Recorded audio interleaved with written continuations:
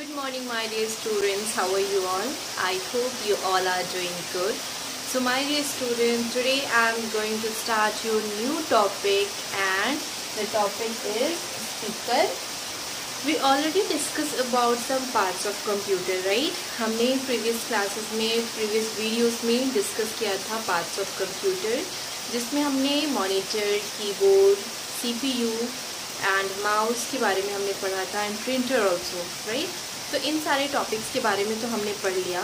So today I am going to start new topics and today I am going to finish this chapter okay so speaker UPS microphone scanner storage device of computer so today I am talking about this topic okay? So my dear student open your book and I'm going to explain all this uh, lines all this. Topic okay so my next topic is speaker speaker help us to hear sound and music. Speakers are connected to the computer. Speaker जो है वो help करता है sound को सुनने के लिए hair करने के लिए, ठीक है? साउंड एंड म्यूज़िक को सुनने के लिए हमें स्पीकर की ज़रूरत पड़ती है। एंड स्पीकर जो है वो कनेक्टेड होता है हमारे कंप्यूटर से। ठीक है?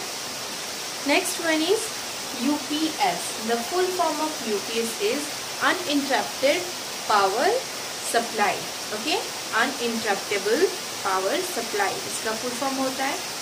A UPS helps the computer to work without electricity. जो यूपीएस होता है, वो हेल्प करता है कंप्यूटर का कि अगर इलेक्ट्रिसिटी नहीं है लाइट कट गई है तो हम यूपीएस के हेल्प से कंप्यूटर पे वर्क कर सकते हैं कंटिन्यू रख सकते हैं, ठीक है? Next one is microphone a microphone helps to record your voice और साउंड माइक्रोफोन हेल्प करता है हमारे वॉइस को रिकॉर्ड करने के लिए, किसी भी साउंड को रिकॉर्ड करने के लिए माइक्रोफोन हेल्प करता है कंप्यूटर का ओके आप इमेज भी देखते चलो कि ये सारी चीज़ दिखते कैसे हैं okay now the next one is scanner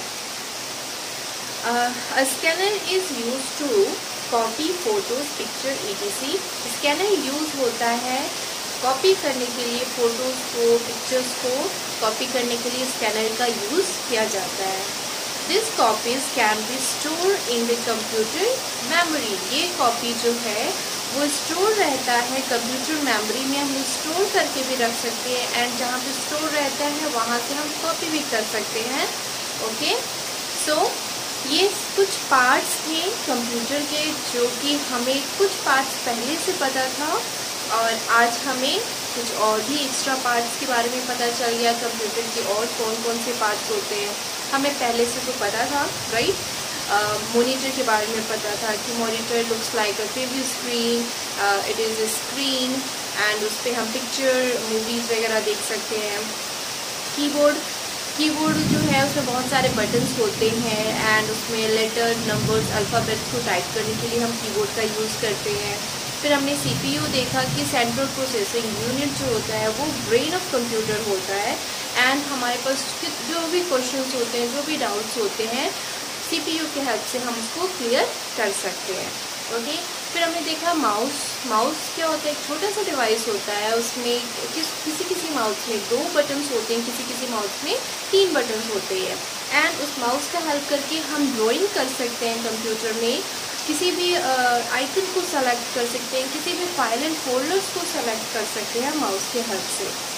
तो इतना तो हमें पहले से पता था। एंड इस चैप्टर में हमें एक्स्ट्रा और किसके बारे में पता चला? प्रिंटर के बारे में। प्रिंटर क्या होता है?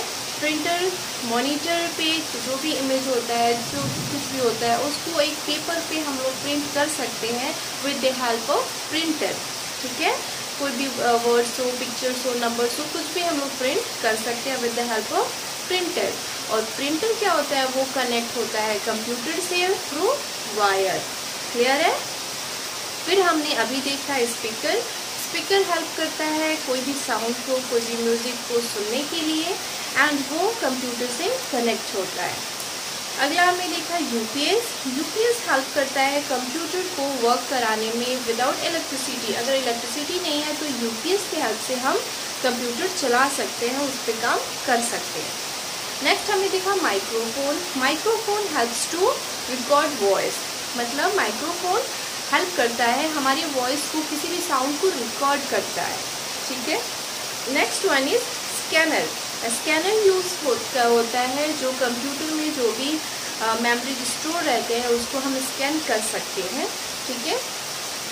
Now come to the next topic and next topic is storage device of computer computer में जो स्टोरेज डिवाइस होते हैं, उसमें से कुछ स्टोरेज डिवाइस के बारे में हम पढ़ेंगे। स्टोरेज डिवाइस का मतलब होता है कि वो डिवाइस जिसमें हम कुछ भी स्टोर करके रखते हो, जमा करके रखते हो। सेव करके रखते हो, ठीक है? तो वैसे बहुत सारे डिवाइसेस हैं but in your class we will discuss only three devices ठीक है? पहला है सी डी रोम और DVD it store the I am going to read listen very carefully it store the work that you do on computer ये store करके रखता है काम को जो हम कंप्यूटर पे करते हैं। Its capacity is from seven M to four point seven G B इसका जो कैपेसिटी होता है वो सेवन हंड्रेड एम से लेके one four point seven G तक का कैपेसिटी होता है। मतलब uh, इतना सारा चीज़ हम स्टोर करके रख सकते हैं। जो भी हम कंप्यूटर पे काम करते हैं उसको वो स्टोर करके रखता है ठीक है? आप इमेज भी देख सकते हो। Next one is pen drive pen drive also store the work that you do on computer pen drive जो है वो भी वर्क को स्टोर करके रखता है जो हम कंप्यूटर पे करते हैं। Pen drive can store more work than C D ROM जो पेन ड्राइव होता है वो सी डी रोम से ज़्यादा वर्क को स्टोर करके रखता है। Okay the work on pen drive can be deleted and restore easily also जो काम हम लोग पेन ड्राइव में सेव करके रखते हैं, उसको हम आसानी से डिलीट भी कर सकते हैं एंड रीस्टोर भी कर सकते हैं। मतलब वापस से उसको हम स्टोर कर सकते हैं। It capacity is two G B four G B sixteen G B ठीक है? तो उस पेन ड्राइव की कैपेसिटी क्या है? दो जी बी चार जी बी एंड सोलह जी बी होता है। मतलब बहुत सारा स्टोरेज स्पेस होता है पेन ड्राइव में। बहुत सारा मेमोरीज बहुत सारा चीज़ हम स्टोर करके रख सकते हैं पेन ड्राइव में। सीडी में पेन ड्राइव के हिसाब से कम स्पेस होता है पेन ड्राइव में बहुत ज़्यादा स्पेस होता है। Is that clear now next and last one is hard disk hard disk also store the work that you do on computer same thing बोल रहा है कि हार्ड डिस्क भी वही काम करता है, हमारे वर्क को स्टोर करके रखता है, जो कि हम कंप्यूटर पे वर्क करते हैं। The hard disk can store more work than pen drive अब जो ये हार्ड डिस्क है ना, वो पेन ड्राइव से भी ज़्यादा काम को स्टोर करके रख सकता है फाइल्स को स्टोर करके रख सकता है। Its capacity started from 500 MB to 2.3 TB and more. उसका कैपेसिटी क्या होता है? 500 MB से लेके 2.3 TB से भी ज़्यादा कैपेसिटी उसका होता है। मतलब सबसे कम स्टोरेज होता है सीडी रोम में डीवीडी में, कम स्पेस होता है। ज़्यादा चीज़ हम स्टोर नहीं कर सकते, जैसे हमारे मोबाइल में स्टोरेज कैपेसिटी कम होती है फुल हो जाता है तो कहते हैं कि इसका स्टोरेज कम है। तो इन तीनों को कंपेयर करें तो सबसे कम सीडी रोम में कैपेसिटी होता है। उससे थोड़ा ज़्यादा पेन ड्राइव में रहता है और पेन ड्राइव से भी ज़्यादा स्पेस हार्ड डिस्क में होता है। Okay so my dear students here our fifth chapter is finished and I hope you have no problem in this chapter because इस चैप्टर को मैं बहुत ही अच्छे से दो दो तीन तीन बार एक ही चीज़ को बोल के समझा चुकी हूँ एंड फिर भी अगर आपको कोई प्रॉब्लम है सो डोंट वरी आप एक बार चैप्टर को रीड कर लो एंड उसके बाद आप उससे पूछ सकते हो okay so your class work is read chapter five whole ठीक है? पूरा पढ़ना है आज चैप्टर फाइव को अच्छे से एंड ऑडियो मुझे सेंड करना है एंड देन आज योर ठीक है? एंड क्लास वर्क फिर मैं क्लास में आपको बताऊँगी और क्या करना है। So bye student take care have a nice day